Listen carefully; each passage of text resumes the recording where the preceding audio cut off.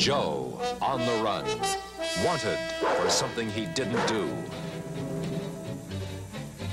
And a bounty hunter closes in. Trained him pretty good. That wanted poster says he's dangerous. That's why I'm after him, Sheriff. To prove he's not that kind of a dog. Maybe too late.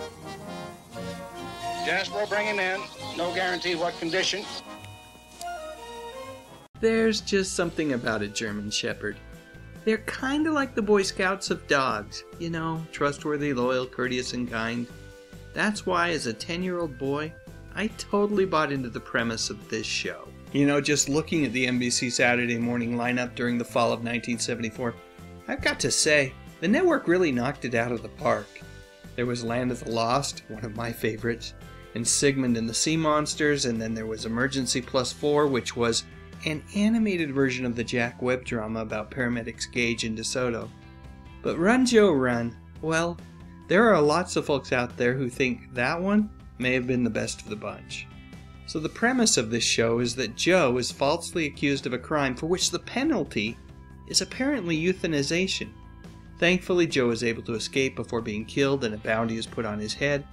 The bounty was the lofty sum of $200. That felt like a lot back then. Oh, what the heck am I saying? It feels like a lot now.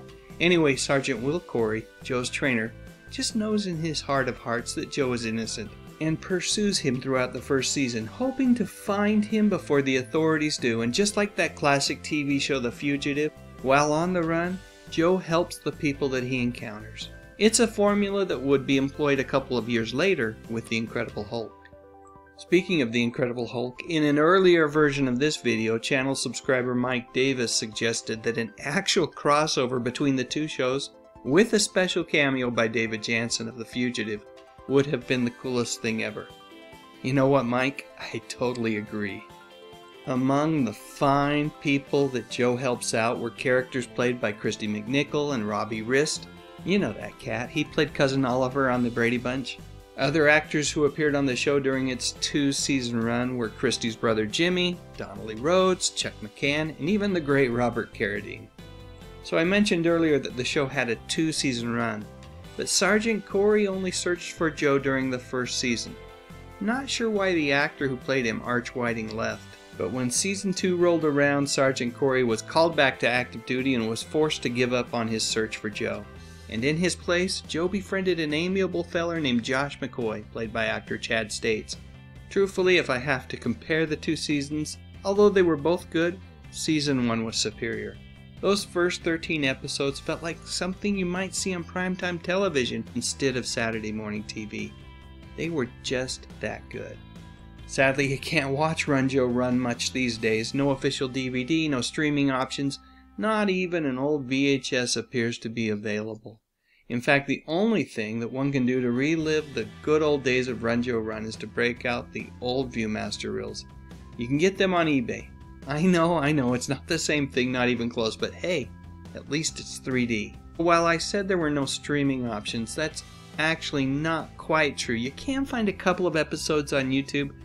Sadly, as far as I can tell, at least at the time of making this video, there is only one full episode out there that is decent enough quality wise for someone to enjoy it, and that one can be found on Robbie Rist's own YouTube channel. And if you keep a very sharp eye out, you might even catch a glimpse of Leif Garrett in that episode.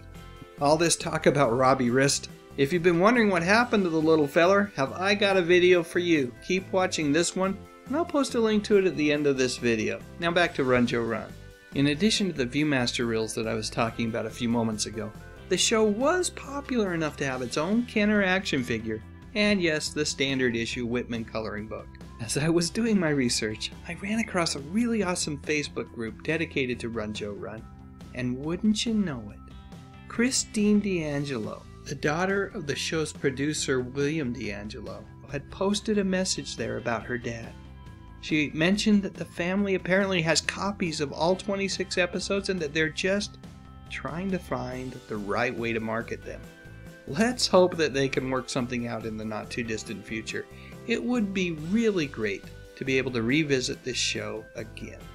Based on Christine's message, if the show ever comes to the light of day, it just might be more than anything else, an act of love for the dog who played Joe.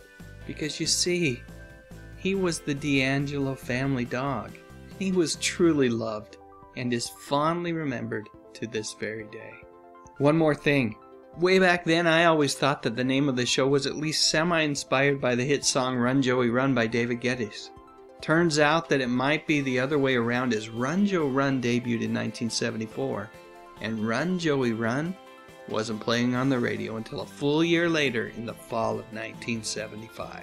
So that's it. One last picture. I found this one at that Facebook page that I was talking about earlier. I'll post a link to that group in the description section of this video just in case you want to wander on over and visit. Alright folks, now it's your turn. If you remember Run Joe Run, please, please share your memories in the comment section of this video. And if you enjoyed this little excursion down memory lane, I sure would appreciate a thumbs up. Maybe even share this darn thing on Facebook or Twitter. And what the heck? Why not consider subscribing to my channel? I talk about music, movies, and television, mostly from the 50s, 60s, 70s, and 80s. You know, the good stuff. But most importantly, and as always, thank you so much for watching.